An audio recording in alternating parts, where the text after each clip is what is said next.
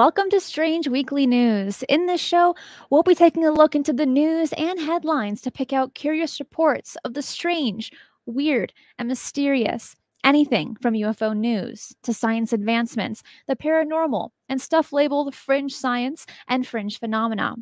Each news item we go over in the show, I will put all the links to them in the description box below once this live show is over, as well as chapters on the timeline index. First, welcome to all my first time viewers and listeners. I hope you find this show informative and that you'll subscribe to this channel and check out my other shows and content.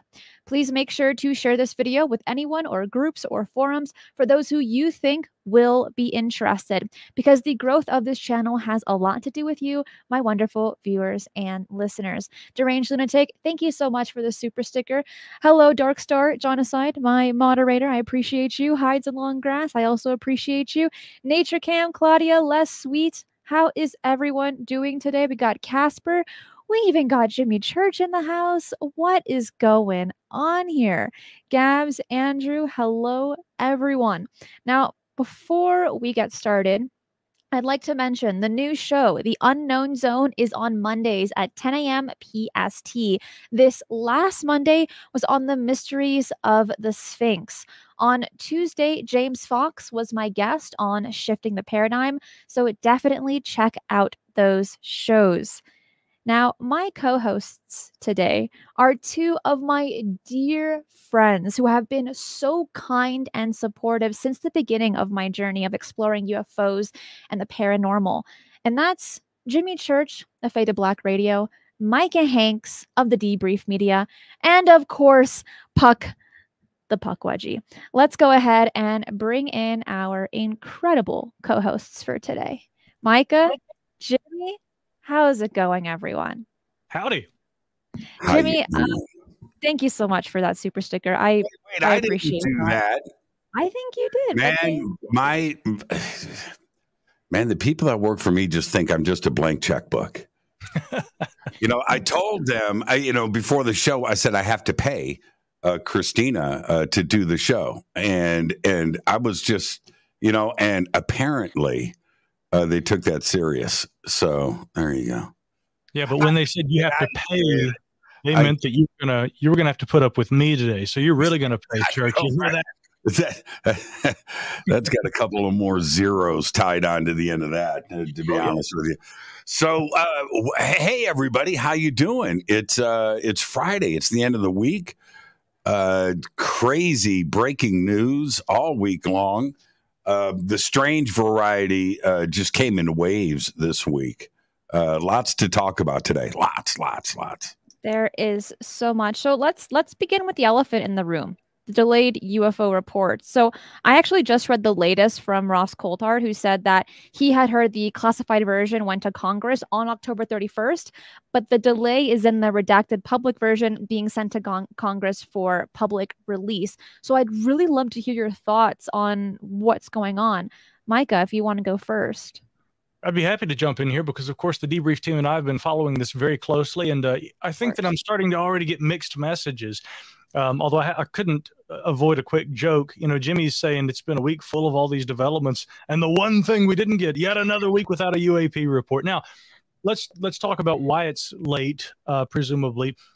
The last report, I mean, there was an entirely different group behind that report, uh, and with with new intelligence officials, you know, with a slightly different ideological perspective. Uh, I'm not surprised. In fact, I was surprised when the last report did arrive on time. And when I found out that the New York Times had, you know, quite a good bit of knowledge about what was going to be in that report, um, I guess the, the first telltale sign that this was going to go a little differently was last Friday. Uh, I was in New York and, uh, you know, the debrief's Chrissy Newton sent me a text message. I'm on an Uber ride on my way to Brooklyn, and the message says, Read this right now. And there's this report in the New York Times by Julian Barnes, who actually had co-authored an article in advance of the last ODNI report last year. Uh, Julian's take was a little different. His tone was quite different this year, uh, and he's saying, you know, in, according to intelligence officials, we know that most of these objects are probably, and he uses some some I would say fairly triggering uh, phraseology for the UAP community, swamp gas. uh, weather balloons, uh, space aliens, things like this. And of course, rather than referring to it as UAP, not that I have a problem with that, but in the title of the article, he also says UFOs. But I, I'm a little concerned that the intention had been somewhat to kind of inflect a bit of his own view that, oh, this is all nonsense. We've all kind of suspected that. And now intelligence officials, they're getting to the bottom of a lot of this. But now, in recent days, I've reached out, of course, to Pentagon spokespeople, ODNI spokespeople. The ODNI hasn't had a whole lot to say, but I got a very interesting comment uh, from Pentagon spokesperson Sue Gough. And she said, although the, the DoD is not going to comment on this report prior to its release, she more specifically said prior to its delivery to Congress. And that she told me in a correspondence yesterday. So while some are saying, well, the report was on time, but it was delivered to Congress on October 31st, Again, I'm now asking Has the actual completed classified version been delivered to Congress yet? Does that explain why it's being held up? But we want, know one thing for certain right now the public version of the report certainly has not made its way to the ODNI's page that everybody's been sitting there refreshing.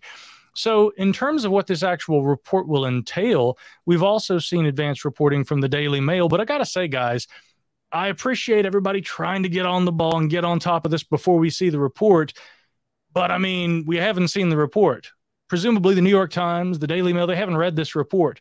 I'm questioning whether people on Capitol Hill have been briefed on this report yet. So, for my own part, I'm just looking forward to seeing the report. And I'm going to wait and, and withhold judgment until I've actually seen what's in it rather than all this speculation that's been building. Jimmy, what do you think? Well, Jimmy, actually, before what you before we ask you what you think, for those that aren't familiar with this report, can you just kind of give us a brief overview of what it's supposed to contain? Uh, it well, uh, that's for me. Uh, uh, what the report? Well, you know what? I, I'm going to answer that directly and also answer the first question at the same time. We don't know nothing. Nobody knows anything. Uh, I have a lot of respect for Ross Coulthart. He's got connections and and things. Uh, Julian Barnes, eh, you know, uh, uh you know, but anything, anybody that's commenting on this um, uh, is projecting an opinion.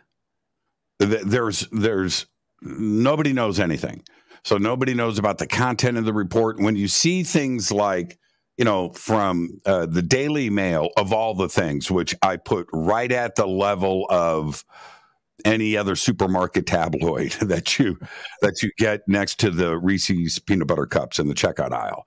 All right, and and so nobody at the Daily Mail in the UK of all places has has uh, leaked information to them or they've seen the report. They have it. Nobody has. Um, and so that's it. What's in the report? That's that's an opinion. What's expected in the report? That's an opinion. Um, these these comments about it's going to be blamed on Chinese drones and and and weather balloons and and other that's opinion. That's it. That's just somebody's opinion. Nothing more. We will find out when the report gets released. That's it. The one thing um, in Susan Gough's uh, reply uh, to Micah is a pretty telling one, right? You can kind of read between the lines there, uh, where there's a suggestion that there's a, a classified version that uh, may have already been delivered, and the unclassified version, uh, the redacted version, hasn't yet feels like you can read that into that statement. I'm I'm with Mike on that, but I'm I'm saying probably not. Probably not. If the if the classified version was floating around Washington D.C., again, this is my opinion, you would see leaks. Somebody's going to be talking. Some elected official is going to make a comment. Uh, bills have been passed. Budgets are out there um, and uh, somebody is not going to be happy about that report, um, no matter what it says, and there will be comments on it. And and quite frankly, there isn't any, so it's all opinion. What is what's not going to be in the report? ET is here. That's I can tell you with pretty much hundred percent certainty There's uh, not going to be some dramatic disclosure um, that uh, contact has been made and and we're trying to figure the, this out. I, I don't think that that is going to be in the report at all. So, and I don't want to put you know water uh, on this and and dampen you know everybody's hopes, but uh, you know I, I don't expect that. What what is surprising to me, and Micah, uh, you've done a lot of coverage on this. This is the point that all of us need to uh, wrap our head around and appreciate. All of the sudden, every intelligence agency, NSA, CIA, NRO, doesn't matter, um, every branch of the military, everything inside those five walls of the Pentagon, um, every level of the House, Capitol Hill, the White House, media, print and otherwise, has an interest in the UFO subject. Now that that right there, where it has been decades of denial and and ridicule, why why suddenly the interest from everybody acknowledging that there is something going on and we're trying to figure it out. That's a fact, and that is the most interesting and compelling part of all of this. Those are the really big questions. Tasaka, thank you so much for the super sticker. Nature Cam has a question. Jimmy and Micah, do you think that the report they will downplay all the UAPs that are unexplainable and just focus on all the ones that are? What do you think? I, I'll say this about that. I mean, in the pre-reporting by the New York Times, they already seem to have done that, which is one more reason, again, to come back to my earlier point and to mirror what Jimmy was just talking about this is all speculation leading up to the actual report being produced. And again, keep in mind that if anything plays out like it has over the last few months, what will happen is um, either the briefing has occurred or it will occur. And this is important because Jimmy noted, even if we don't have leaks of information, we probably would be hearing folks on Capitol Hill talking about having received a briefing. We got a lot of that last year. And for several days leading up to the actual appearance of that public version of the report and then it was actually on time, which was almost remarkable. I mean, they really just went right down to the very last hour, quite literally. It was within the 4 to 5 yeah. p.m. hour block on a Friday for the date of delivery, but they got it there on time. I mean, everybody was sitting there refreshing. I might as well refresh here right now because i am monitoring this as we're talking. Still no report as of yet. But again, my suspicion is based on the wording that was provided to me from the Pentagon spokeswoman, and then also the lack of chatter that we're getting out of Washington. They probably haven't seen a report yet, or if they have, they weren't impressed with what they saw. Now, in terms of this forthcoming report and whether, as the question had asked, they're going to downplay in that report the the unknowns and emphasize the knowns.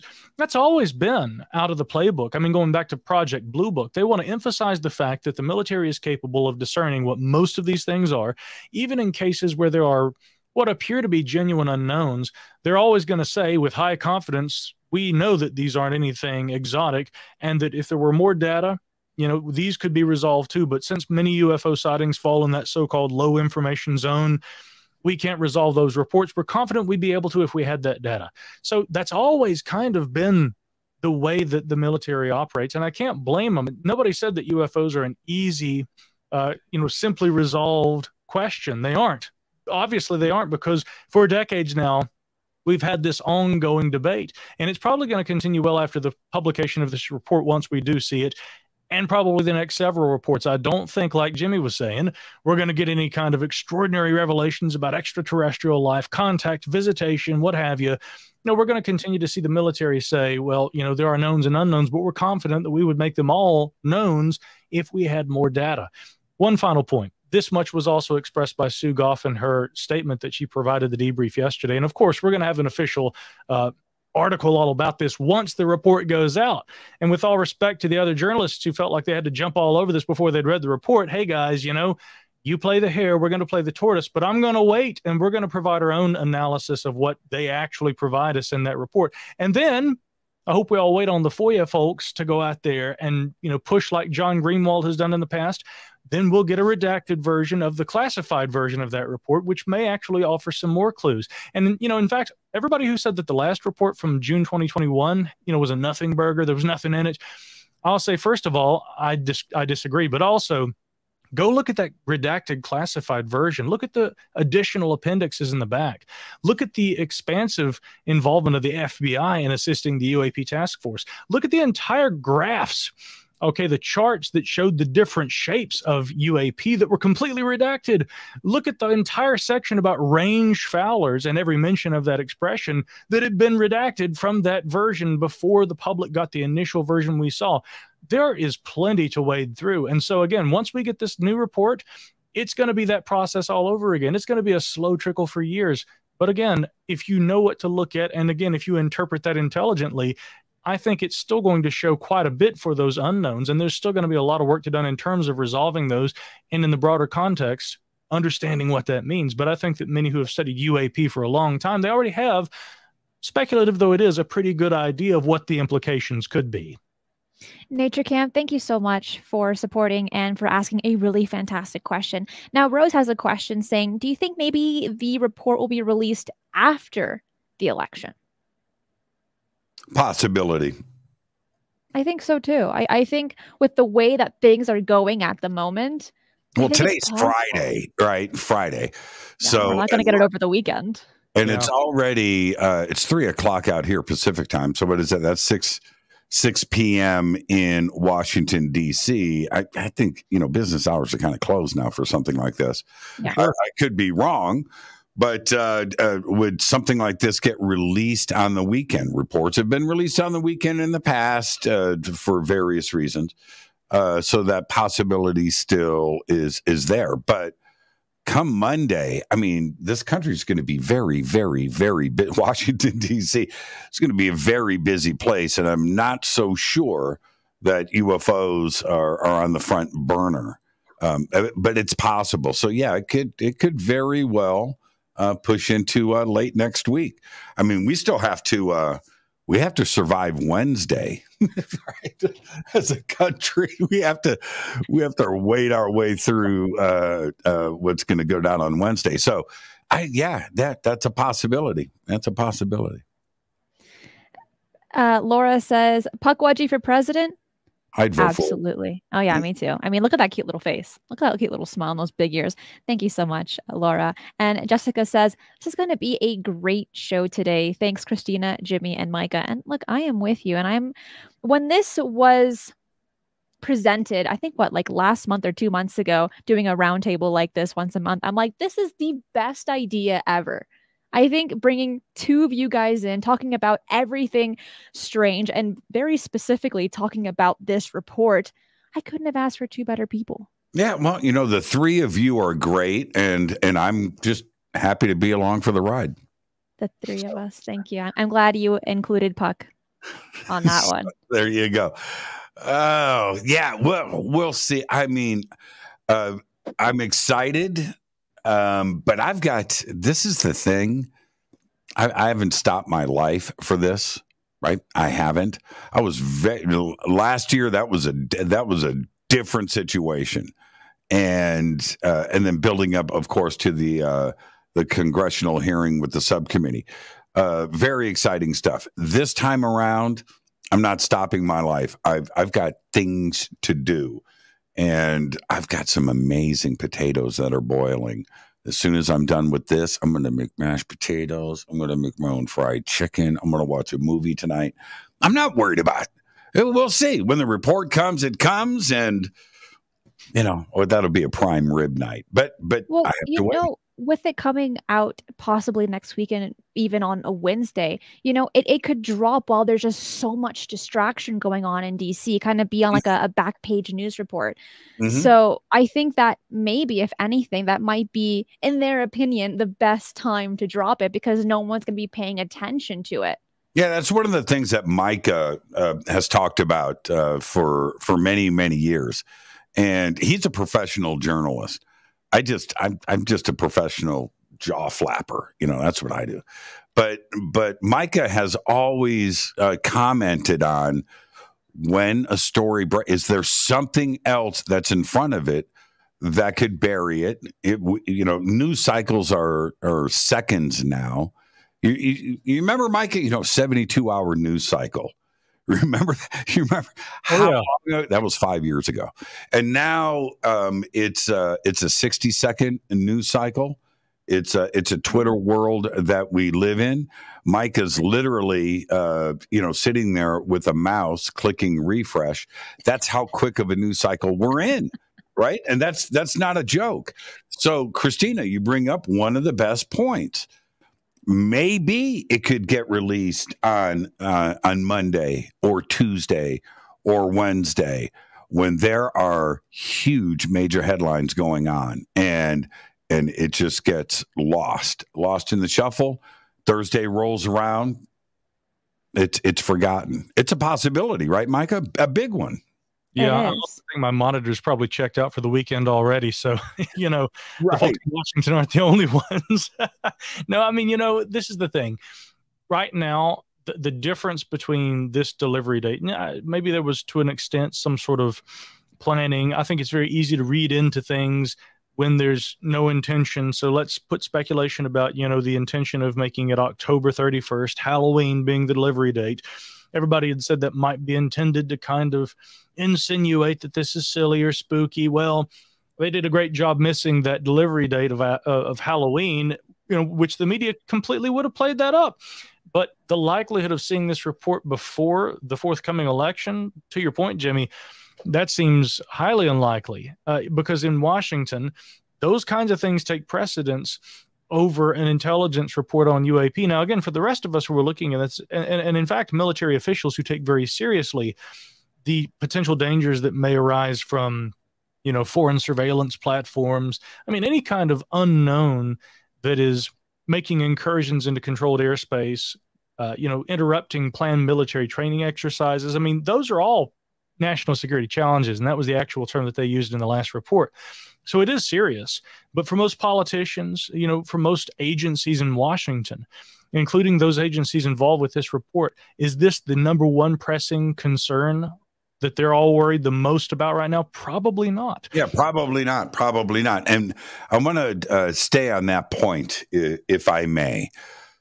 Please. We, we're. I think we we could almost be in a flip flop of the original playbook. And and what I'm saying is this. Let's go back to the 1950s. Okay.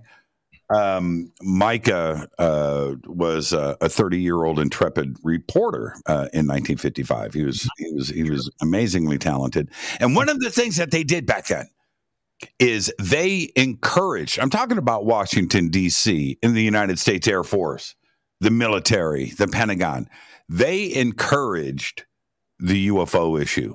They wanted people to say that, d- to absolutely throw off the rest of the world. We were in the middle of a very dramatic uh, uh, nuclear race. Uh, uh we just came off of uh, World War II, and we didn't want the Russians to know what we had you know, technically in, in the skies, uh, jet aircraft. These things were uh, new things. So as long as people are reporting UFOs, let the Russians think that that's what's going on. Let the what rest of the world think that that is what is going on. Throw it off, right? But are, are we in a different reality today?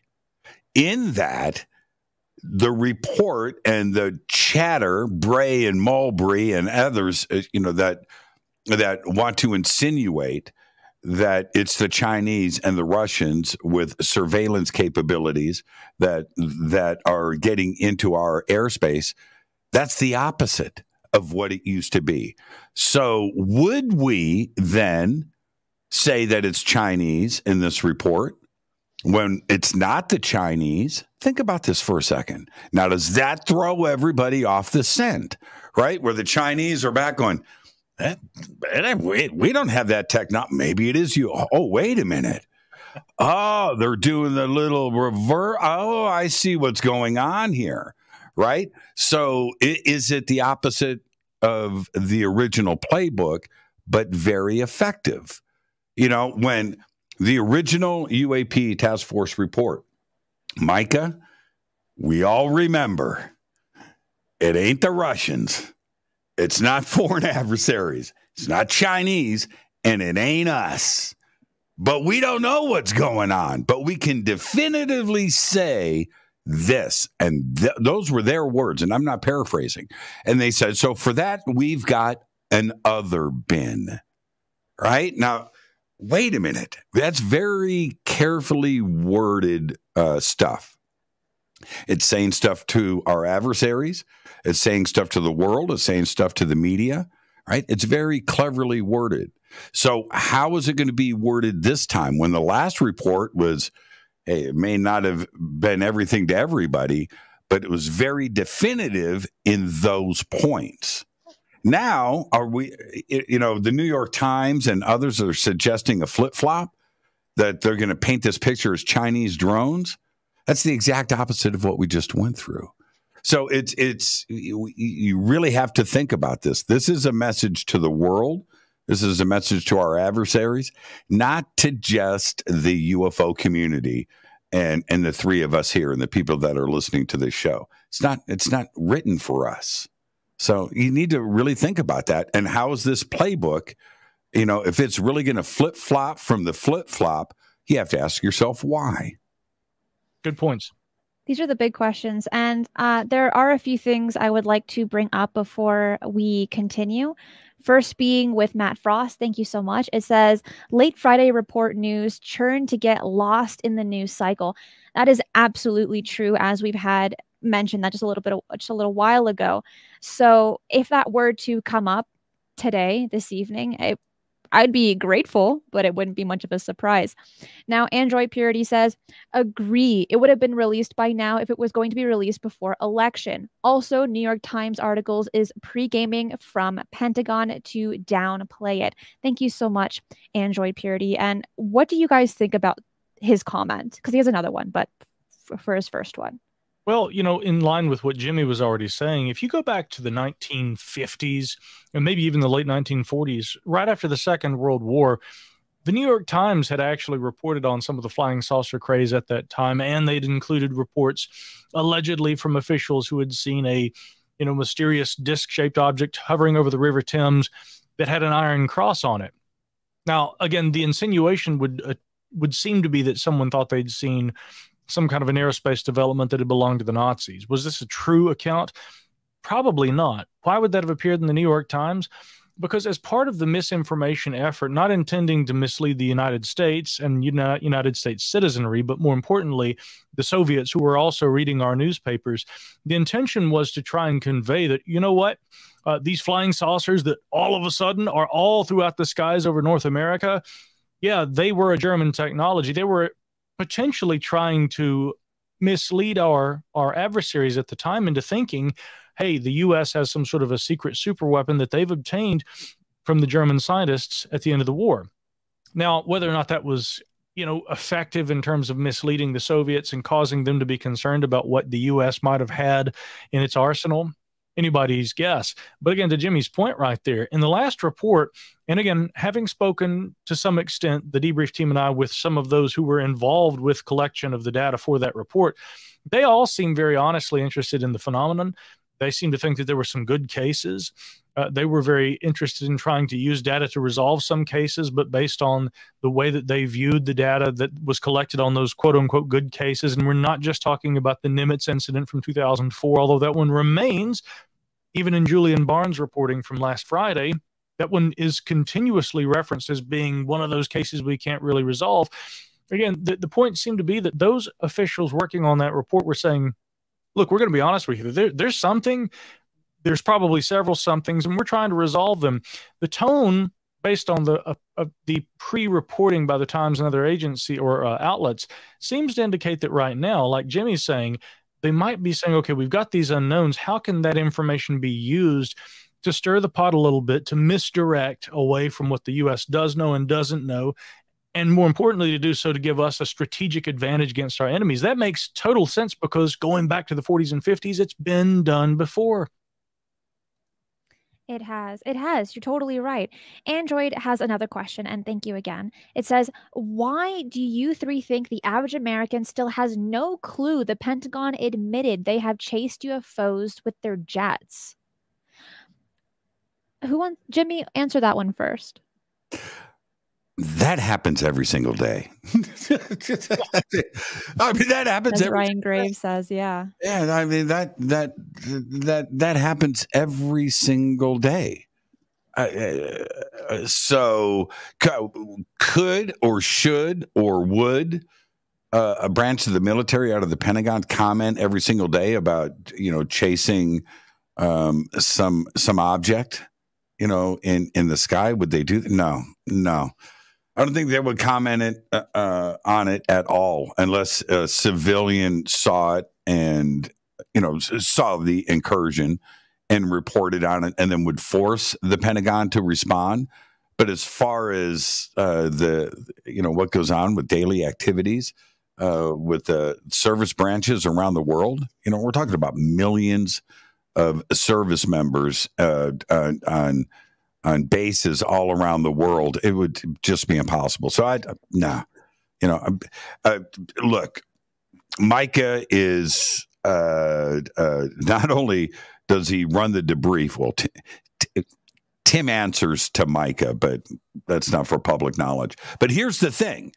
Micah uh, is dealing with the military every single day. And Micah, would you expect uh, the Pentagon, any branch of the military, to give us constant updates of pilots chasing something around the world? No, and in fact, they're going to say as little as they can, whenever they can, however they can. Uh, you know, again, I, I, was amazed that there was a complete statement, although I think it had to do with the way that I asked the question that Sue Gough got back with me. But she's always been very forthcoming uh, in my experience. Uh, and I, I, feel that the first thing you should try to always do is show respect for people in the military, even if you have concerns with the way that some of their policies uh, or or procedures or, or the bureaucratic element in Washington relays that information to the public. But again, uh, I think being polite certainly is a success strategy. But in those correspondences that I have, these people are people just like us and they're doing a job and they're going to tell you what they have been told that they can tell you and they will say this is how you can say it and what you're to attribute to me and here's how to actually say uh, you know me my title and and what's been conveyed to you. In both instances when i reached out to the pentagon and to the odni in advance of this report even though i was trying to ask questions about what other officials had already said and was already being reported by other outlets like the new york times their response was essentially here's what we can say here's what we can't say and I have nothing else for you, or I have no guidance for you on that other question. So again, to your point, Jimmy, and no, they they won't say it if they can avoid saying it or if they've been directed not to. And when it comes to all the knowns and the unknowns, you know, pilots chasing UAP and all these kind of things, there's not going to be a press release written every time one of those incidents occurs.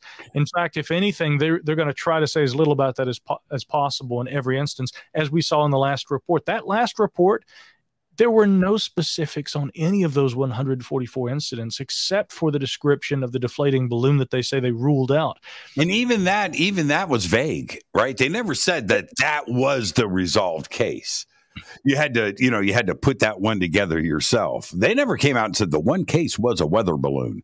No, they said that they resolved the case as a weather balloon, and there was 144, 143, you know, and so you had to uh, you know, place those puzzle pieces on the table yourself and and figure that out. There was, I wanted to bring this up two days ago, press conference and World Affairs, right? Okay, so uh, you know, general press conference, and uh, I, f- I forget the reporter.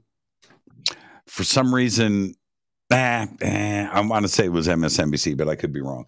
Anyway, reporter back of the room. So, uh, do you have any comment on uh, the, the the UFO UAP report that is, uh, you know, and uh, you know, and if uh, there's another part uh, about this possibly being Chinese and Chinese drones, right? And I was like, man, you you go right, okay, here we go. And you know what the the spokesperson, spokeswoman, spokesperson, she goes just like this, Micah, on all that. I need a book Oh, I don't have a book. She's got the three ring binder, right? And she's listening. She flips through the binder. He gets to the end of the question. She goes, Well, I've got nothing to say. yeah. Did, did, you see it? I didn't see that one, but I, uh, when I do have something to say, I'll get back to you. She had nothing in, she wasn't prepared, didn't know what the question was about. It wasn't in the three ring binder, and it was that, you know, that that boilerplate. Ah, I'll get back to you when I got something. Yeah, and that was that was two days ago. Well, but again, but, that's why they have briefing cards, and you know, again, you know, John Greenewald and others have actually foia the briefing cards that are used to generate those talking points. So when you see you know the white house press secretary up there and they're answering questions for the press. They may speak on certain points but they have briefing cards that outline what is known what can be said and what cannot be disseminated to the press. Those are the quotable portions. And again this is all completely control of the message. I mean this is that's entirely what this is. I, I would I would hesitate to call that propaganda, uh, but it is uh, controlling your image. And our government, all governments throughout time, throughout all history, going all the way back to Alexander the Great, have always been great at doing that. They want to present their best face, and that's the way you do it. And again, I can't blame them, but that's going to limit always the level of information and uh, you know the granular detail that you can expect in these cases. Yeah, that's right, Micah. Can I ask you a question? I'm going to ask Cristina the, the same question, but I'm going to ask you first. All right, you got a choice, right? You can make this decision. The decision is on you. Okay. Okay. Aliens visiting Earth or Chinese drones crossing into our airspace. And and it, it you you get to make the choice. Okay. You hate it when I do this, but I've got to. Quick qualifiers. I'm talking about the unknowns that exhibit the characteristics That's described. Not the question. Aliens invading Earth, visiting Earth, or I mean, what's more dangerous? What's more scary to Micah Hanks? Oh. Aliens or Chinese drones invading U.S. airspace? Oh, so your question is which of those two is more frightening to me? Well, you and you you get to make the choice of what it is. What, what where do you go?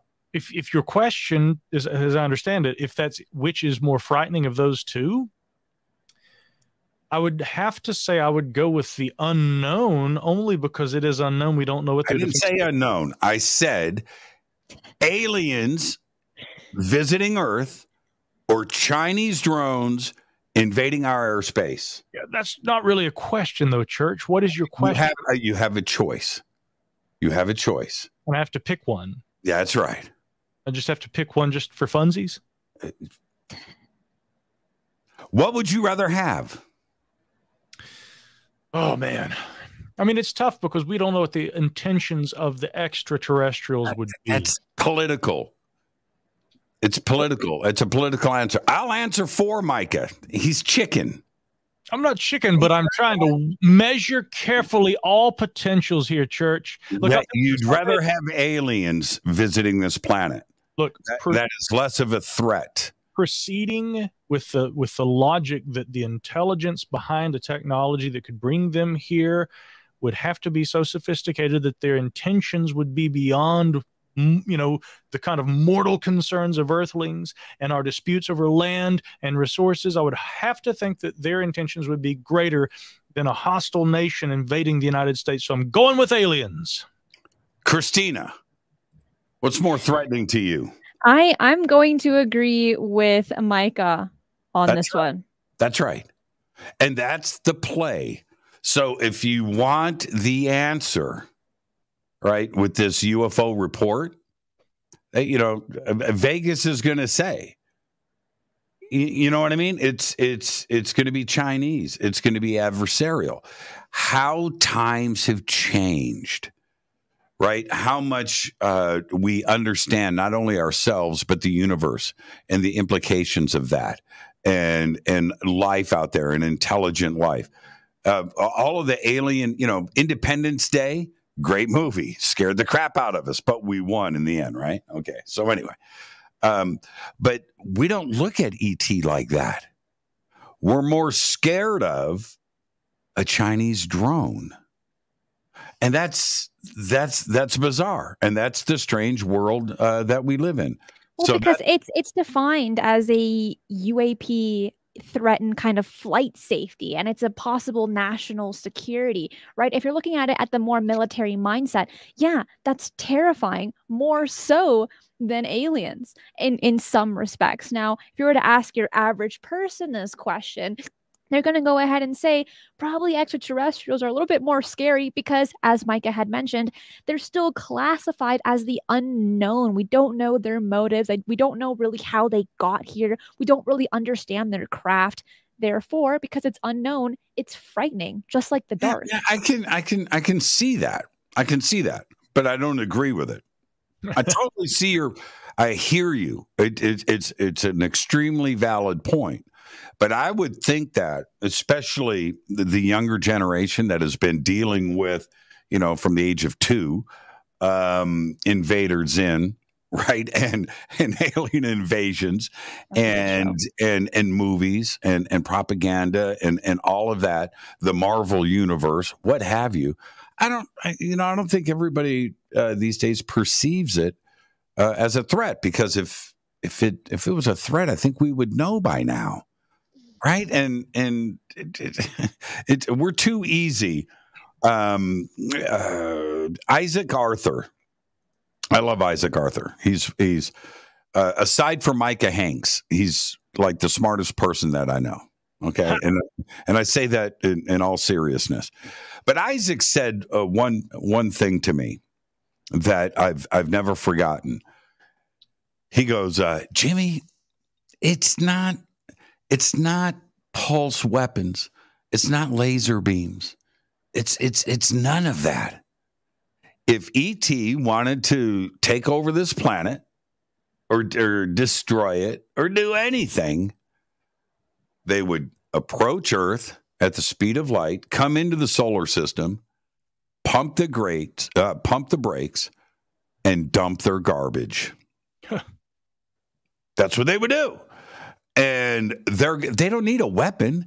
They would pummel our planet with garbage, right? Moving at the speed of light, and uh, and that would be the end of it. It you know it wouldn't be misdirecting an asteroid, you know, a virus, a disease, androids, you know, landing and taking over with artificial intelligence. Nah, it's too much work. Dump your trash right? And and that hasn't happened. You know, it's a it, it's a, it's a very very easy thing to do. We're a very primitive planet, and uh, uh, coming here, uh, we're not going to band together as tribes. Uh, you know, in in the in the forest above Seattle in the mountains. You know what what, what was uh uh, uh, Red Alert. What was that movie? Uh, what was that movie? Uh, with the Badgers. Oh, uh, uh, Red Dawn, Red Dawn. We're not, yeah, we're not going. You know, we're not going to get together with with you know pistols and bows and arrows and and band together and, and start shooting at alien ships and and figure out how to get this done. No, it it just wouldn't be that kind of party. So if it hasn't happened, it's not going to happen. What? I don't know. Life is full of surprises, but we have quite a few super chats to go through. So let's go through those and then we can continue. Journals, thank you so much. Lavera, I appreciate it. Brian, you know that's right. Thank you so much.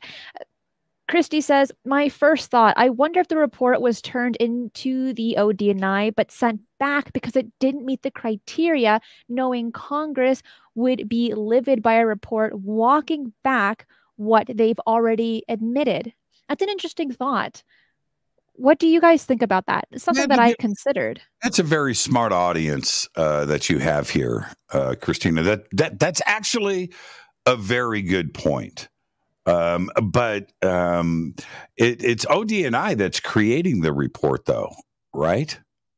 Correct. The report isn't being turned into the ODNI. The ODNI is running the committee, um, and it's coming out of the ODNI's office. But the second part of the, the question is you know, doing a flip flop, right?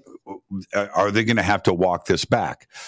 Yeah, yeah, that's a wouldn't be the first time, you know, that's for sure. Well, Micah, here's uh, let me ask you this: by the time a report goes through the filters, right? It's going through levels. It's going, you know, it's passing across that, and, and, things are being verified and vetted and checked, and what can be released and what is it, and and and the grammar. Um, and certainly who the report is speaking to. It's not just to the United States, right? This is a this is a world report. This is going uh, for everybody's eyes, right? By the time it gets to the release stage, it it it's been it's been filtered, right? I don't think there would be anything to walk back at that point. No, I mean, imagine the amount of eyes had to look at it before it was even released to Congress. So I think what Christy said and also what you said, Jimmy, are both valid points. Nature Cam, thank you so much. It says, Micah, can you please answer the next question in Jimmy's voice? Hashtag impressions, because we all know you do it so well. And for the new viewers and listeners that haven't heard you do it, please indulge us just a little. Well, bit. depends on what the next question is. Okay, well then go ahead, go ahead and read this next super chat, okay, Matt. I have a so video. Uh, Micah doesn't know this. I'll send it to you later, Micah. I have a video uh, from uh, on the set of uh, my new TV show, and Micah is a guest. And I caught Micah imitating me with with some people on the set, but I videotaped it and it was it, it was pretty fun, man. I got to tell you, Micah, it was pretty funny. Do you remember doing it? Uh, oh yeah, I do. I, I always remember my impersonations, especially my favorite impersonations.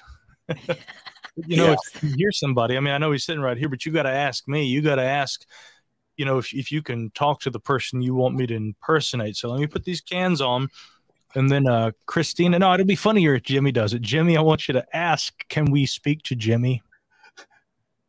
Mike, is Jimmy home? Man, I don't know. I, I, I'll have to check. Look, bespoke radio for the masses. Yeah. All right. Great show lined up tonight. We got Linda Moulton Howe coming up. and that dark moon coffee. I like mine dark. I haven't actually gotten my deep quite as well today because I've been talking so much, but yeah, you know, if I, if I could just turn my bass up, I'd almost be there. Thank you, Micah, for, for bespoke radio for the masses. There, now I'm starting to get it a little better. There we go. Okay. Look, Mike, you, you, Micah, you know you're one of the smartest guys I've ever talked to in my life. Really, really, me? Yeah, you. Yeah, yeah. Let, let, let me finish the question. Okay. All right. All right. God, Okay, I think that's all the Jimmy I've got though. oh my gosh, the the oh, accuracy oh, is I was laughing so hard. Incredible. Um, Matt says. I had to mute. I had to mute. Can I can I say this, Cristina? Um, I I don't know who uh, posted that question, but it was awesome. Thank that you, Cam. Micah and I are are very very close, and and I tease him a lot, and he teases me a lot. Um, but uh, we've uh, you know we just came off an amazing weekend together, and and as I rounded the corner, he was, uh, we, you know, let's meet outside. And um, he's walking around the corner of the hotel. I'm coming out. There we were, and and that greeting between two friends uh, was was real. And I'm not going to say anything more than that. Um, you better not. I, yeah, I I'm not going to talk about your socks. I'm, I'm not going to do that. Not not not now. But but we're friends and and Micah makes me laugh. Um, and, and, and it and it shows really on hard. camera every single time that you guys chat. And I, I love having the both of you on. And that's how Jimmy and I met. It was because of Micah. Matt Frost says, Dark Forest theory is what scares me the most. I'm do you know what Dark Forest theory is? Dark Forest theory. I don't know what that is. It was like a brand of chocolate or something. That sounds like a snazzy brand of chocolate, but I imagine like dark chocolate. And so, Matt, if you can explain what that is, I would appreciate it. And thank gummy you. bears. I think so it's much. gummy bears. I think it's gummy bears. I think dark forest gummies, but not dark forest theory.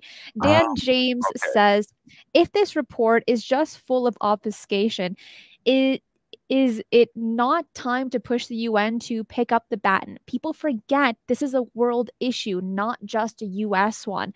Jimmy, you you kind of touched on that, and I agree with with Dan here. It's a really good point because when it comes to the United States, when it com- when it comes to this UFO report, they're kind of an example for the rest of the country. And while Mhm. that can sound a little arrogant, which Mhm. it does, Mhm. it there there is some truth behind that. So There's I a, a ton of truth behind. Look at the three of us.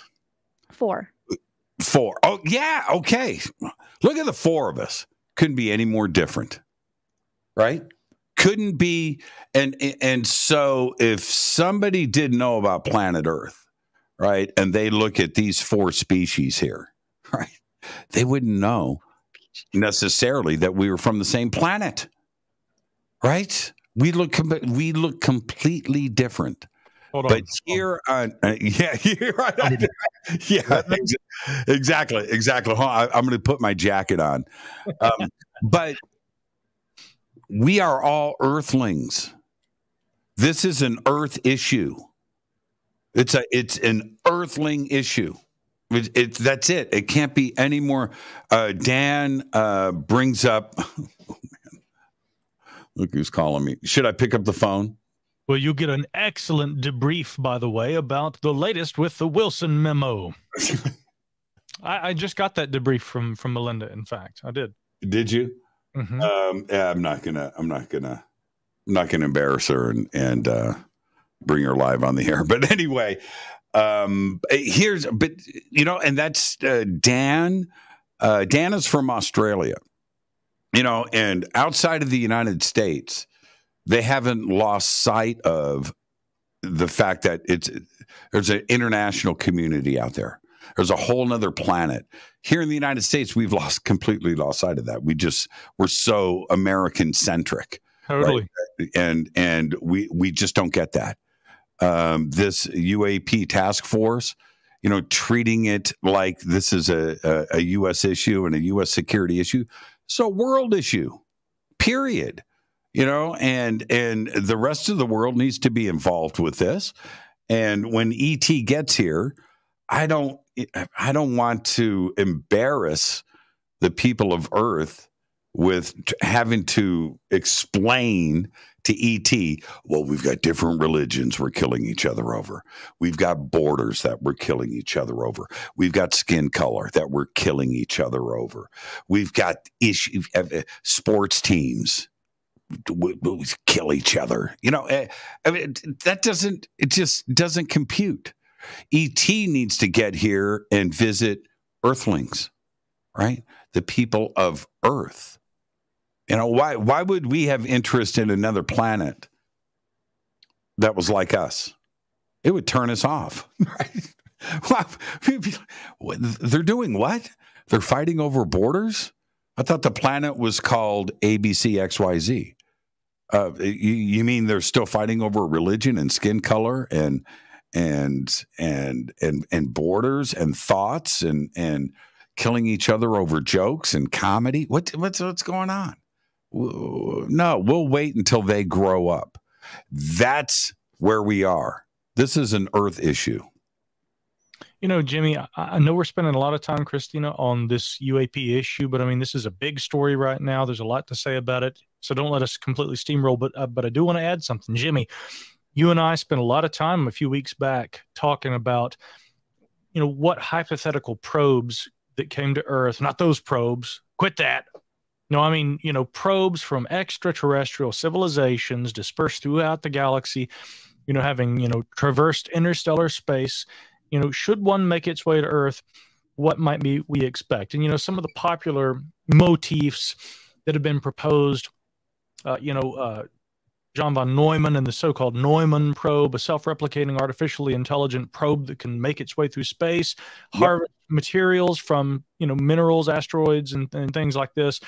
Uh, replicate itself, produce others, and then they can continue to disperse and perhaps do so indefinitely, almost like a virus throughout space. But then you get the, uh, you know, Ronald Bracewell's idea about a Bracewell probe. The idea that a probe placed at a Lagrange point encircling a planet might observe what's happening on a planet and kind of wait to a point where that civilization that it's observing gets to a point of technological sophistication and perhaps we might say even conscious evolution where they begin to get beyond the the sim the, the you know the very simple baseline differences that we perceive superficially as being the things that divide us. And if that Bracewell probe picks up on those kinds of things and they begin to see, okay, this civilization is intelligent, they, they're finally beginning after millions of years to get along, right? They're they're exhibiting technology that is capable of reaching the stars, but also now they're you know uniting harmoniously in a united effort to do that for the first time in their history and then contact is made again it very well may be the case that the criteria for contact is not just intelligence by our own measure, but in, it, it's it's a measure of development even beyond intelligence. You know, emotional intelligence, empathy, you know, these kinds of things. It could very well be that they aren't going. They may be very well aware of us. They may be here and they may be operating on Earth for all different kinds of reasons. Some of the UAP very well may be in a in a roundabout way the very von Neumann probes and the Bracewell probes that have been hypothesized in, in a limited fashion in the past. It may be much more complex, but in, in principle, they may be the same thing. And they may be keeping their distance from us for those very reasons. They may be waiting until humans are going to be less antagonistic toward each other and certainly thereby presumed to be less antagonistic toward another intelligence if one presents itself to us. But again, all di- all data, all indications. Hynek, going back to Hynek, he said in those close encounter cases where occupants are observed, they seem to be by their body language, their actions, and everything else conveying primarily one thing: leave us alone. Mm-hmm. That's right, and uh, uh Micah, it's exactly what we are doing We've got Perseverance, right? We, uh, the, the, first helicopter, the first flying, right? The Ingenuity, uh, uh, Pioneer 10, 11, Voyager uh, 1 and 2. Um, how many probes? Uh, we just crashed one into Mercury, you know, last year. How many things have we sent out into the solar system? Mariner. You know, I could go on and on and on. What are we doing? We're trying to figure out what's going on. That's what we're doing. We're looking for signs of life, right? We're doing that with Europa, right? And with Ceres. We're out there trying to find these things. And now we've got uh, the James Webb Telescope, right? Looking for biospheres and looking for signs of life. That's exactly what we are doing. Is the Perseverance rover, right? Is it armed and dangerous? Is it set up to shoot to kill? No. It's just out there trying to discover stuff. So why would we expect something different, you know, from ET? And while why, we're looking out, expect something different. Uh, the, a von Neumann probe, self-replicating. I think these are uh, one of the simplest uh, things to do. And once you achieve a certain level of uh, technical awareness, that's the first step. We just, I mean, 3D printing is brand new. As a matter of fact, electricity is brand new. A hundred years ago, we still had covered wagons in Chicago, right? we had gas lamps, man you know, this is all uh, uh, uh, we we really lost sight of. We think how smart we are. Um, the universe is a big place. It's 95 billion light years across. It's 38, uh, it's 18, uh, uh, 13.8 billion years old, right? The universe is a big place. 95 billion light years across. Do you know how far we have gone from our planet? Good question. We barely just made it outside the neighborhood. yeah, not like a, not like far a, enough. A minute, two seconds. it it seems like that. And even though and even though we are exploring space to the the way that we are, there are still people that are having experiences right here on our planet. And there was one rather recently that took place in California. Jimmy, your your home state practically, and I'd like to get into that and kind of oh, hear your thoughts on it. Uh, the the Azusa yeah, that one. But first, Deranged Lunatic, thank you for becoming a member. And Matt Frost explains what Dark Forest is, and it's lacking assurances. The safest option for any species is to annihilate other life forms before they have a chance to hmm. do mm. the same. And I think that when that comes to humanity, it's pretty accurate. Yeah, I, I do that on my street. Oh, I live on Dark Forest Lane. Dang. Well, Matt and Deranged Lunatic, thank you so much for supporting the channel. So this this encounter that took place in California was written um, on the NUFORC website, and it was on very specifically. It was October third, so about a month ago now, and the the person that saw this he is remaining anonymous but he went into detail that he saw this craft between like 9 to 11 p.m. And he described the shape as being a diamond shaped, that there was an aura or haze around the object, and the object emitted other objects, which uh, is, is a reoccurring theme that I think that we've all come across. And he writes in his post, it says, I went hiking with two pet dogs last night, October 3rd, 2022, and I arrived from 9 p.m. and around 11:30 p.m. into our walk, a dark object was hovering above the mountainside next to me. At the first sight of it, I thought that it may have been some kind of platform recently installed on top of the hill. But as I walked closer and my angle of view changed, I could see the object was in midair. My pets weren't acting any different, and I stopped walking in confusion to what I was seeing. Shortly after, a, basketball sized orb of light came out from the ship and approached me so close I could feel the light's energy like static pulling my hair or my skin on my face. When it noticed I was scared, it seemed like the light orb got dull, and I suddenly wasn't scared anymore and began emitting heat at this moment as it was trying to warm me. And I could now feel warm air all around me. Shortly after it was over, the orb wasn't there anymore, and the floating object wasn't there anymore either. And the time was now almost 2 a.m. So he was experiencing missing time. And it states, I don't remember the object flying away, and I don't remember the orb going back to the floating object. I immediately walked back to my car with my pets and left. And then he states, I think I might have been taken into the craft or simply examined by the orb. I would like to have more information because this experience changed my life. And it seems that with a lot of people that have UFO sightings, there are two reoccurring themes. Well, several actually, more than two. One, he experienced missing time. Two, this orb or this craft was intelligent. It was able to feel its emotions, or at least how this man attempts to explain that.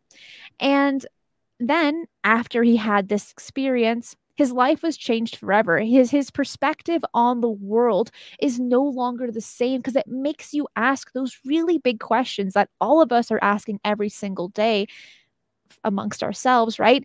Is are we alone? And for us, we would say no, but for your average person, that are that are kind of more in their like 40s and onward, they might say otherwise if you attempt to speak to someone at the grocery store. But when you hear this story, Jimmy and Micah, what do you guys think about? I'm going to jump in first. I'm going to jump in first. I'm going to step on Micah. Go for it. Step on Micah. Hey, you've gone first for the entire show. Is this here's here's here's what's nuts. This is in my neighborhood. Okay? That's the first thing that I noted here. Azusa, there's just a hill right here from my, my side yard that separates me from Azusa. Um, Azusa is next to Pasadena. Okay, so it, and now uh, a couple things of note uh, that uh, I found interesting. I'm going to get to Azusa specifically, though, uh, quickly here. I think there was a comment in there that his dogs didn't react. That was weird, right? Yeah, yeah. I I, I found that uh, I, out of everything there, the orb, the thing, the missing time, right? What it looked like, the diamond shape, and he thought it was a platform, and or she, he. Um, and as he got closer, it, it, it wasn't. Uh, I just said he again. As they got closer, um, it wasn't a platform. It wasn't a structure. It was something that was floating. Okay, so all of that, but uh, the animals didn't react, and that that caught my eye. Very interesting part of this. That for me, I raise an eyebrow and go, I think that there's something here. This is a, an experience uh, that that seems like it was a real one. But now let's let's let's talk specifically about Azusa. Azusa, there's a long line of cities. There's a mountain range. I'm above the mountain range. Then San Gabriel Mountains are here. There's a there's a line of cities. They all touch each other. Um, but it's Glendale, it's uh, Pasadena, it's Monrovia, Arcadia, Azusa, right? So when you're driving up the freeway there, these cities are just divided by uh, name only and streets, right? There isn't big chunks of land. You know what I mean? There's nothing geographically uh, separating the uh, terrain. Um, so Azusa is just this tiny little bedroom community um, uh, uh north of the 210 freeway. But here is the interesting part where Azusa is, or anywhere here in Southern California in this area, it's against the mountains and once you are into those mountains, it's completely remote. The mountains aren't big, but they're just there. On the other side of the mountains, right on the other side, Mojave Desert, Edwards Air Force Base, Lockheed, Northrop Grumman, Air Force Plant 42, NASA, and any other thing that you want to talk about when it comes to aerospace research. Raytheon, right? It's all right there. The radar cross section testing centers, all of that is right over the hill. You could take the road and it drops you off on the other side minutes later into the Mojave Desert. So, why would this be significant? Two reasons. One, as you wander up into the Azusa Canyons right there, um, it's very remote and it is a great spot for a contact experience. You're alone. There's nothing up there. It's remote. That's number one. Number two, it's a great spot for ET to be checking out stuff because it's all high tech, man. It is the high techiest of the high tech right there in Azusa. Number three, could it be some of our tech? I'm just saying, this is the area and this is what Azusa is and and it represents. So I was very very interested in in the location, in the story, and certainly about the pets not reacting.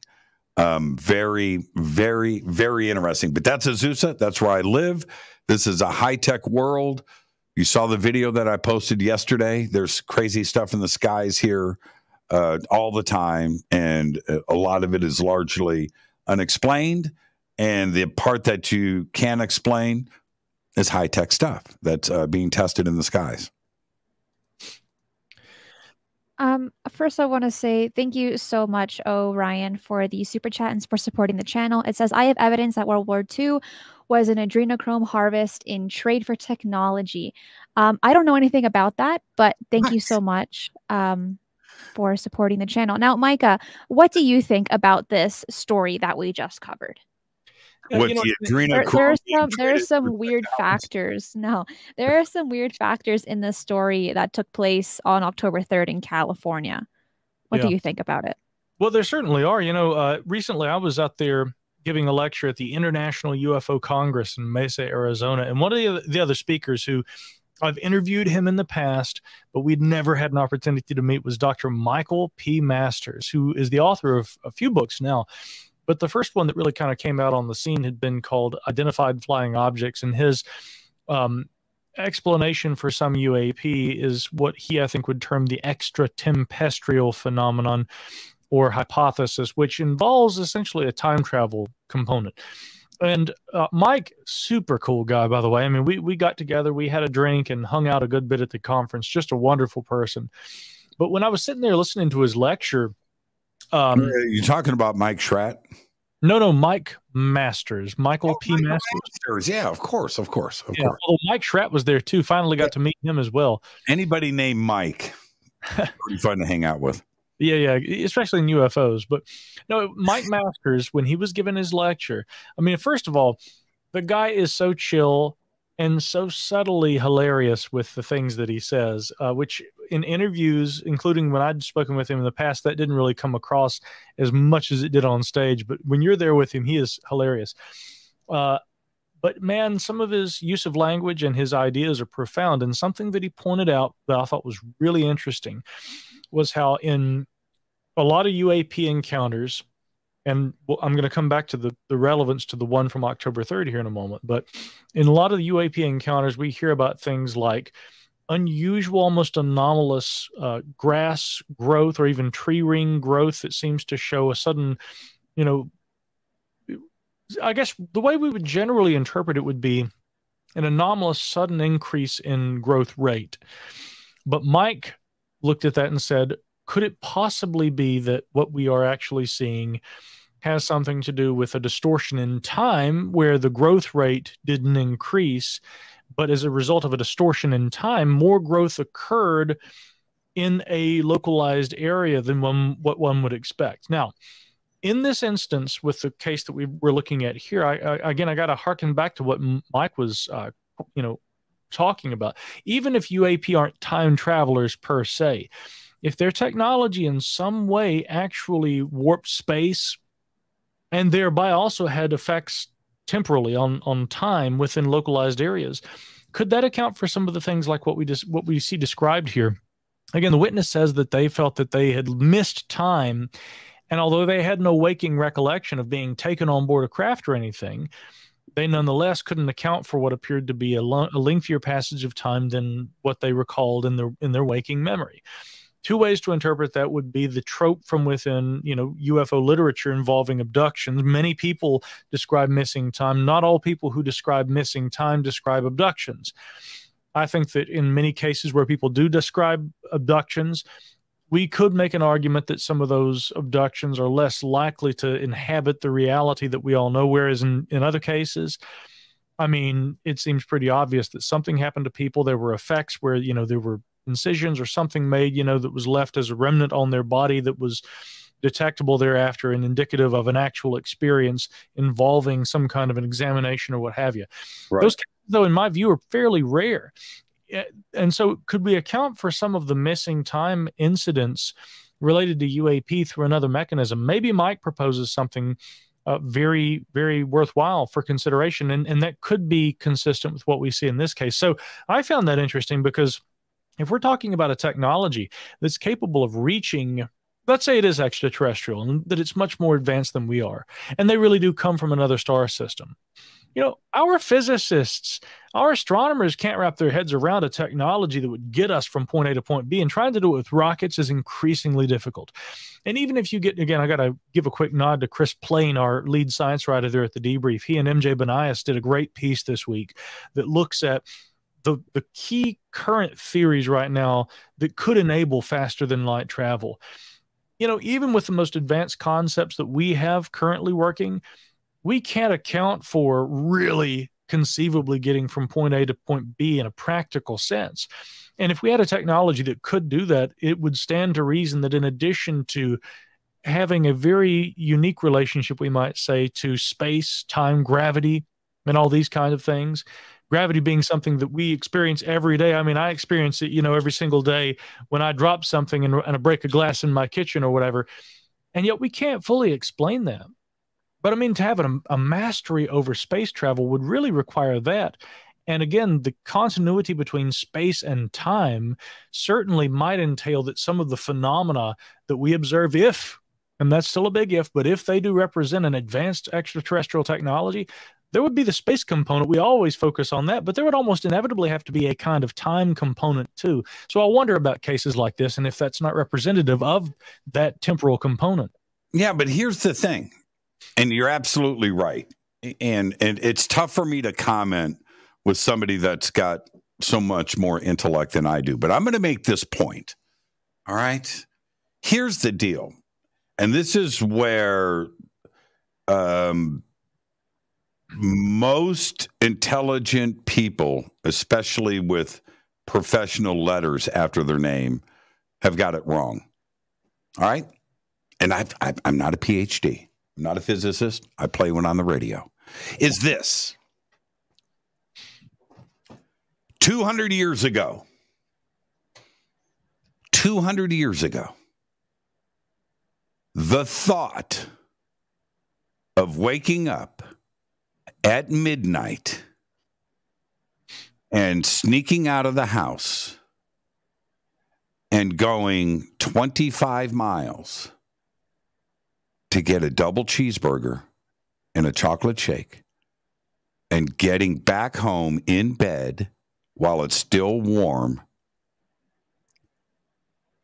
in 30 minutes is black magic voodoo. Yeah.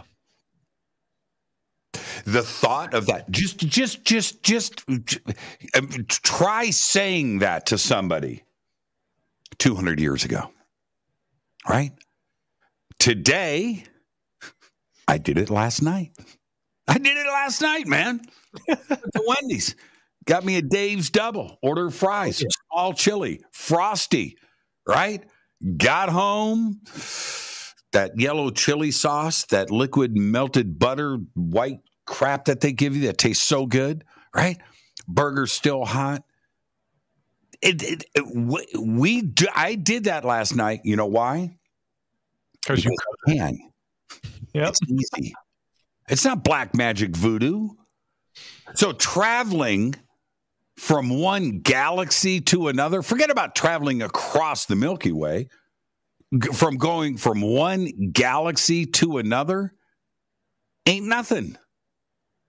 It's it's the same thing as going to the Jack in the Box drive-through to get two $1 tacos. Right? That's some black magic stuff. That's crazy. But ET does it because they can. It's like nothing. And so we're trying to put all this complexity into it. Folding space, it's faster than light. Einstein said space, time, bending, the fabric. We can't. Wait, wait, wait. wait. He doesn't. No, no, man. They jump in the car and hit the go button on the GPS and do it. And they get back home before the burger's cold, right? that, that's it's that simple. Wait, Sorry, John Lear and your dark hypothesis. It isn't blood there after it was burgers all along. Yeah, it was burgers all along. Man. I know it was burgers all along, and and and that simply is my point that um, we uh, we have a very limited scope of science, of technology, of math. It's very limited. It's very limited. We have 300 years of science behind us. That's it. That's it. 300 years. 400 if you really want to push it back to Copernicus, right? That's all we got. You know, real, real science, real science, 50 years. You know, you want to you want to go back to 1905 and Einstein? Okay, 100 and, 115 years. What is that? It's nothing. And so uh, this this idea, this concept of a Tesla electric car going to a restaurant that's got a microwave oven in it. What? Yeah, uh, that's pretty crazy. That's that pretty crazy. Black magic, voodoo, Gandalf, wizard stuff. You know, oh my God. Carlson well, out of this now. All right. Well, you know, it's talking no, talking about food and like and just crazy voodoo. I have these uh, ghost pepper noodles. Take a look at these. Mm. Oh my gosh. I want to be brave and attempt to try them a little bit later. Have I had them on my desk videos? for today's show. Micah, have you seen the videos of people eating spicy noodles, these contests? Have oh, you seen? Oh, you got to, you got to, you got to jump on TikTok, man. You it, it, yeah, you got to go on TikTok. It's, get, it's, get, get hip. Oh. It's a thing. It's a thing. Watching these people drop dead. They got the ghost pepper noodles. Oh, that's entertainment right there. It's what I've been missing my whole life. Yeah, watching people suffer while they eat food. Hold that up again, Cristina. Let me see that. These this is a spicy chicken flavored ghost pepper. They're black noodles. Uh, when I saw them, I'm like, uh, yes, I am buying. Scary. That, that that that scares the crap out of me right there. This is why I never get sick. I would taste it like this. I'd be little little mouse. Yeah, I would. Little. But see, that would also be considered black magic, having instant noodles 200 years ago black and magic. just putting That boiling is- water. That is some voodoo doll black magic crazy it it it, it it's insane. But you know, you have to look at it like that. Um ET when um and I, I I joke about this a lot, but we put so much into math and algorithms and string theory and and the quantum this and the measurement of that and and strong and weak gravity and all this you know and, and it's just a numbers game right?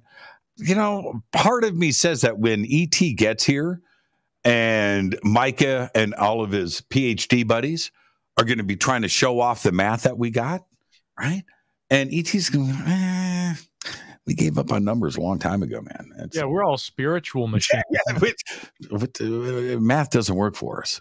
It's not what we do. That's not how we got here. That that's you know we think that we we have this whole elevated you know knowledge filled brain thing going on right now. No, the answer is no. Jimmy, ET I, is ET is getting here FTL uh, because it's fun and easy. Here's the other thing. I gotta say real quick. Look, we've talked about this before, but I, you know, I, I wonder sometimes when ET finally arrives here on Earth, and they do drop down on the White House lawn, and they, you know, introduce themselves, and they put the babble fish on so that they can communicate, and we're like, wow. We always knew you guys were here, you know, the UFOs that we'd been seeing, and they'll look at us and they'll say, Oh, so you have those too. Those weren't us. Yeah, exactly. I It's to swear, know I you have those too. Micah, that uh, truer words can, you know, and, and let's not forget, you know, uh, that is that statement. I mean, we should make T-shirts, right? Yeah. But but here's the thing: don't forget, the three of us go to a planet. There's going to be some kid running to his parents, going, "I just saw an alien." I saw- I swear to I do. Which I was, it was a flying. s- We're the aliens. We're ET, right? That's, oh man, it's uh, and, and what do we got to show for it? Ghost pepper ramen noodles. Cup That's- of noodles. Okay. That's Friday night right there in the can. It's it's every night. Um, John aside, thank you so much for supporting the channel. It says, "So you and next week's guest host, I'm actually off next Friday. Just putting it out there. Oh, and for the Ramen Wagon Fund. Thank you. Ah, genocide trying to weasel his way into being a guest host. All right, yeah, I like. I like. You know, that's called a trial close, a suggest suggestive close. Well done. Like it, Billy Carson just got engaged, right? Uh, he and Elizabeth uh, yesterday or the day before, Micah, and uh, and I'm already like, so who's the best man? What's going on? Uh, come on, hello. What's going on? You know, you know what's going on?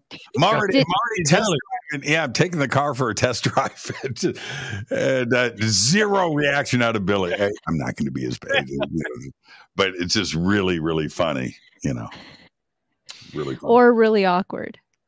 yeah, exactly. oh man, you know, there's a uh, uh, Cristina. Uh, you you know, you've been hanging out with us now for a year, year and a half, and uh, it flew by. I'll be honest with you. I was kind of surprised. but there is uh there's a, a circle of friends uh that we've been out there doing this thing uh for quite a while and i got to tell you we we we kid we push we test each other's nerves we know what buttons to push and uh and we do it because uh we're all great friends and and we trust and and respect each other so yeah, I absolutely went to Billy and said, "So yeah, cool, congratulations. Who's who's going to be your best man?" just, just to push that button, man. So, you gotta do the wink. You gotta do the wink at the end, going like, "Who's gonna be your best man, huh?" Wink. oh man. Okay. So anyway, anyway, he's gonna text me in a second. Church, give it up, man. Just, just.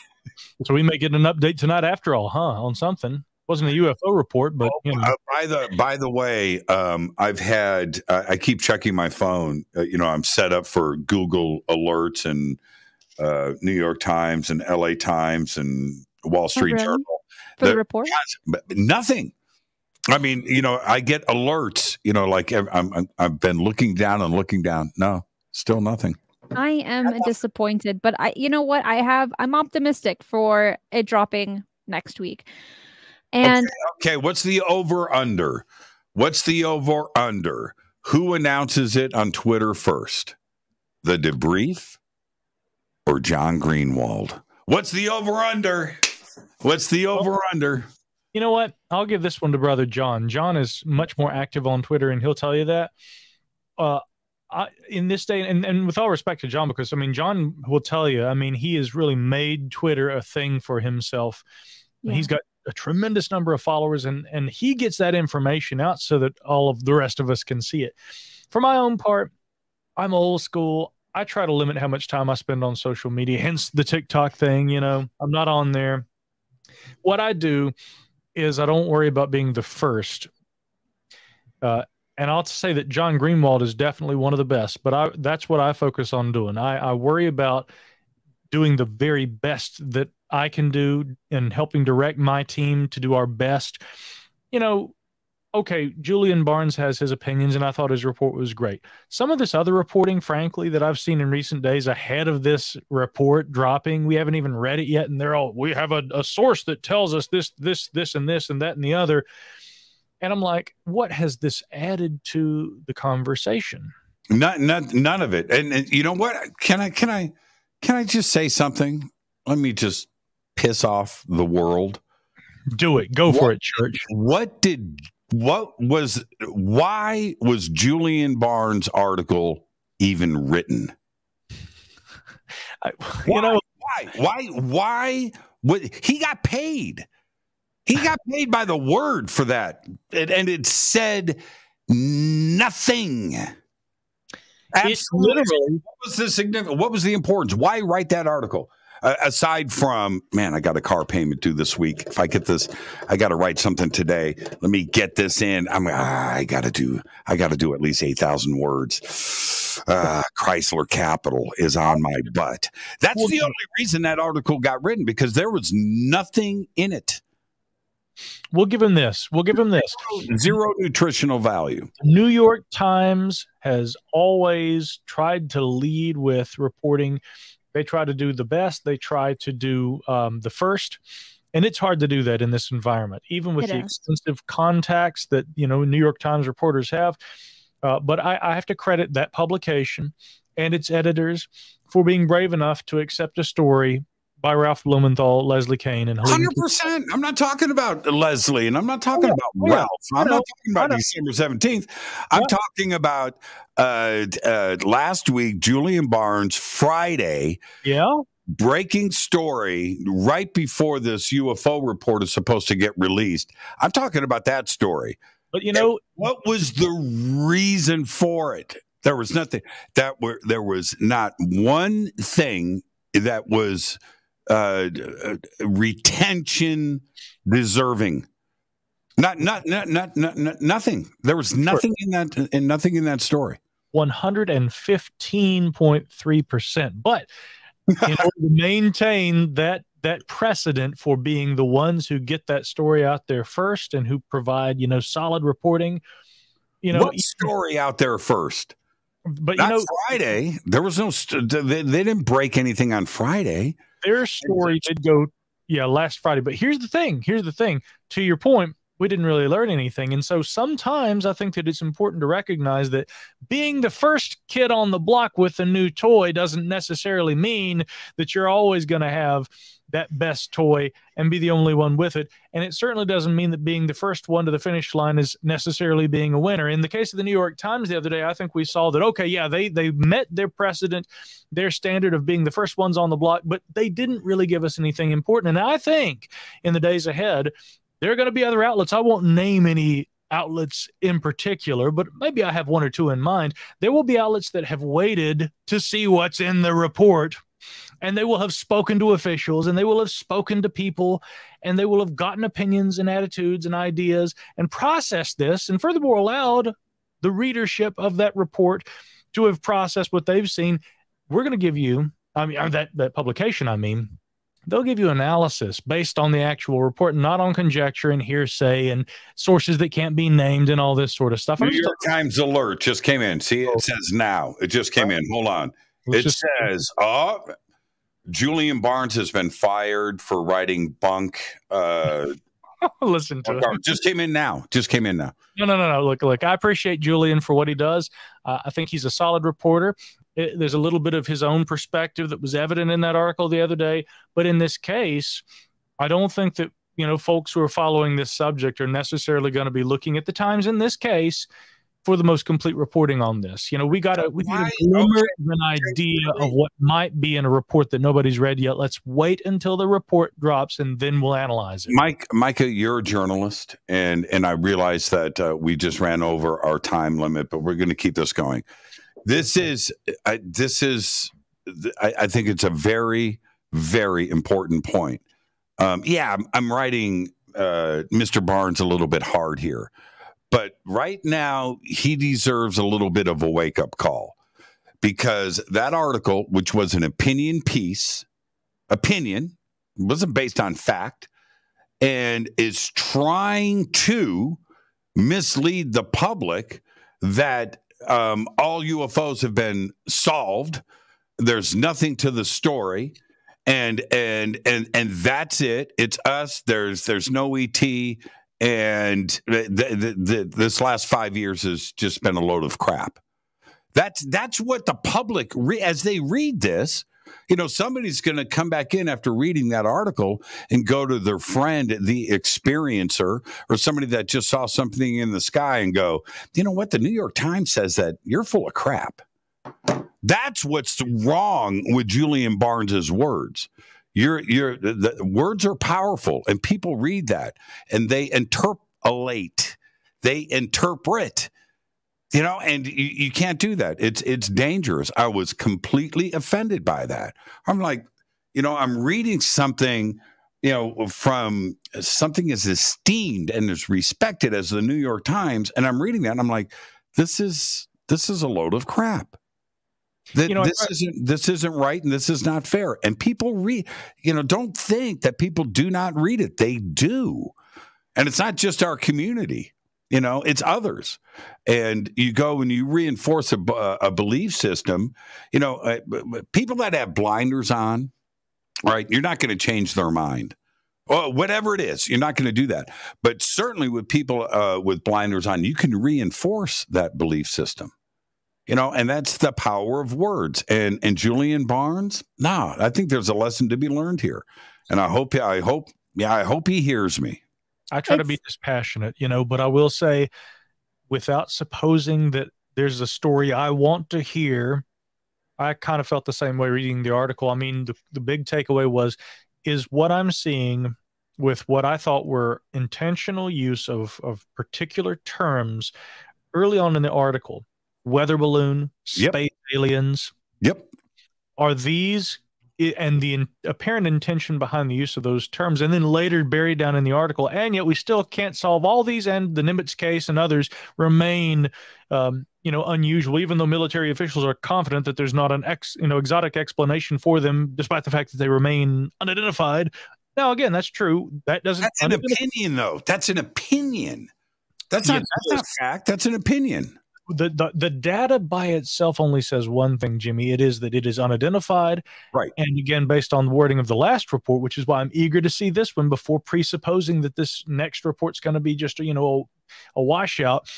The last report already said, you know, that other category may entail objects that exhibit advanced, uh, uh, you know, capabilities in terms of acceleration, flight, signature management, all these kinds of things.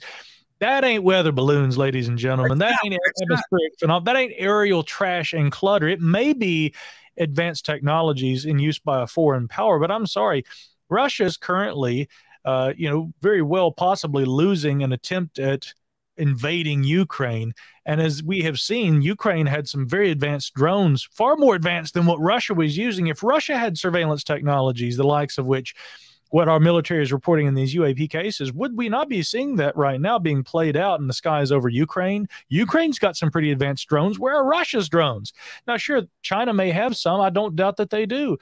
But does that explain all of these accounts? And so that's the problem. And yes, reading Julian's article, you're right, Jimmy. I read that into my own you know thought process i would say this article may be doing more harm than good in the sense that it is overplaying the obvious and it's downplaying the questions. The questions are the things we should be looking at, the genuine unidentifieds, whatever they may be, without ascribing any kind of provenance to them. Let's you know focus on those genuine mysteries. Yeah, and and using those two words, right? Weather balloons, completely offensive in, in an opinion piece, in an editorial opinion piece.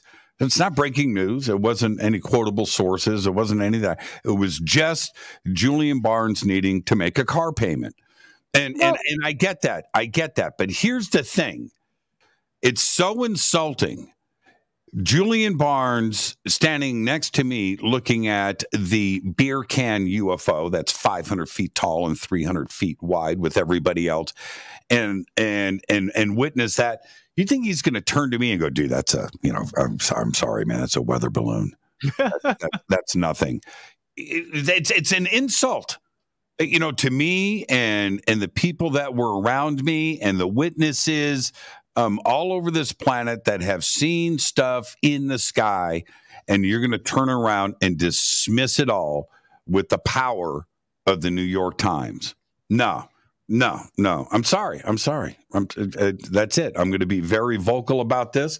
I hope somebody here tweets them well, on the Elon Musk engine and says, you know what, go check out what Jimmy Church said today. You know, and and hopefully he'll he'll, he'll take a look back at himself. And how did Church know I had a car payment due? how did he know that? All right, listen, um, guys. I've got a ton of work to do. Um, and and Cristina, thank you for letting Mike and I just rant uh, uh, like this. But we're all very, very, very, very passionate, and I'm excited about this week. This is going to break. we have got an election that uh, we're going to go through. Um, uh, we've got this uh, report that is getting ready to get released on Monday. My TV show premieres. Ooh, featuring Micah Hanks. No, I don't know. You now, listen, Church, would you let the poor girl talk? You, you, you, get off your soapbox. Let the poor girl host her show, okay? Honey, go ahead and talk, would you? but uh, well, let, let, let, me let me just say this while you're here, Jimmy you say people are reading that article, right, by Julian Barnes, and maybe maybe in the U.S. Uh, UFO sphere. But for me, I think the time of like the the mainstream media on T, TV, and even on the internet is is coming to a close because now people are looking for alternative news sources and independent media outlets podcasters, YouTube YouTubers and like I just I just think that especially for my age group, social media is where they look for their news. Now, I've never heard of Julian, so I don't classify him as an expert. So I know that none of my college peers are reading that article either. And I was on with Ross Coulthart and um, Bryce Zabel this week on Need to Know, and it it was truly an interesting show and and I and I said the same thing that the influence on media is changing. That's just me. I, I don't feel educated or enlightened by a lot of articles in the mainstream media, with the exception, of course, of Leslie Kean and a select few others. But for the most part, I see the mainstream media as a lot of narrative and gaslighting. It is that it, It is that at times. You know, look. it is that at times. It's actually really. You gotta read. You gotta read everything. I mean, you don't have to. You know, and Cristina, of course, you know, you're already doing plenty of reading. You know, with regard to you know your work uh, and everything outside of what you do, the fine broadcast stuff that you do. Jimmy, you know, you and I, buddy, we're students of life. Uh, we spend probably most of our day reading. We read the good, we read the bad, we read the ugly. Mm-hmm. But you know, he keeps talking about how I'm a journalist. What does Jimmy do? Jimmy gets on a microphone four nights a week, and often more than that, and he's reporting on the stuff that's happening in this sphere and providing an outlet where previously in decades past, with the exception of late night radio, there was no such outlet. So and you do that too, Cristina. And yes, we do that. You know, with the debrief, we've taken a more traditional kind of uh, well, I say print publication, but it's not really that, is it? You know, welcome to the 21st century. But the point is, is we've taken a more traditional journalistic approach, but still trying to cover a lot of the same things that Cristina you do with your show and Jimmy that you do with yours.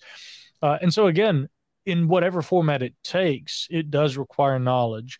But the beauty of the modern you know era with with the, all the saturation of media and information we do have the ability to choose we do have the ability and the right to choose but i do you know express to people expose yourself to a lot of different kinds of things you know science you know if you can bear the politics read about that read about economics read about you know nature study a little bit of everything and get to know this world because while we're spending so much time speculating about alien life and all these kinds of things there's an awful lot to be discovered right here on earth.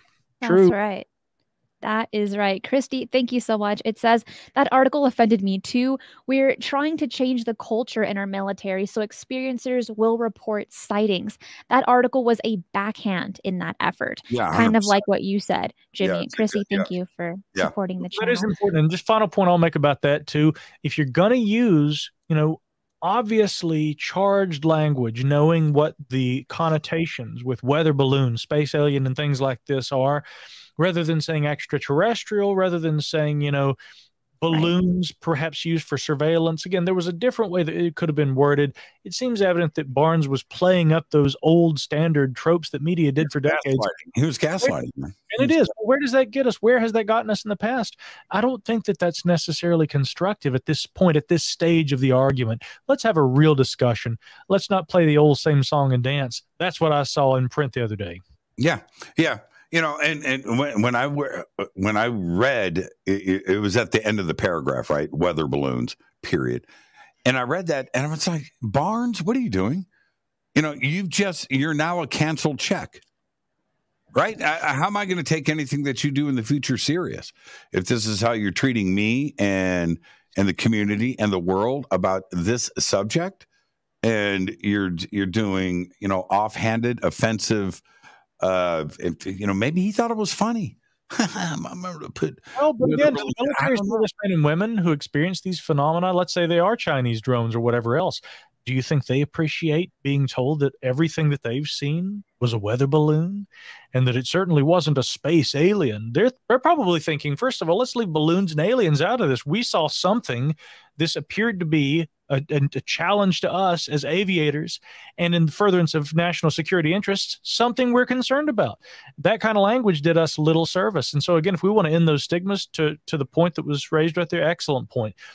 We can't have that kind of dialogue if our effort is going to try to be toward changing the stigmas that have prevailed for so long. And if we want to really lift those stigmas and we really want to further this dialogue, we've got to think carefully about how we frame our argument well said. That is well said. I think a great way to end today's show. Jimmy, Micah, thank you so much for doing the show with me. And just to kind of touch on Micah on, on what you said before, actually, we wrap it all up. I, in a sense, I, I now wonder if maybe he was prompted to write that, maybe in advance of a, of a bust with the UFO report. I don't know. I, I think that hearing you guys speak about this a little bit in more detail, that's kind of where my mind is going with that. Mm. Next time on Strange Weekly News with Church, Hanks, and Gomez. you know, that'll have to be the update, I suppose. It's only yeah. speculation. We may never know. But again, my bottom line, I'm waiting until I actually read that report. I'm with you on that one. Guys, thank you so much. Micah, where can people find you online to follow your podcast and your all of your social media?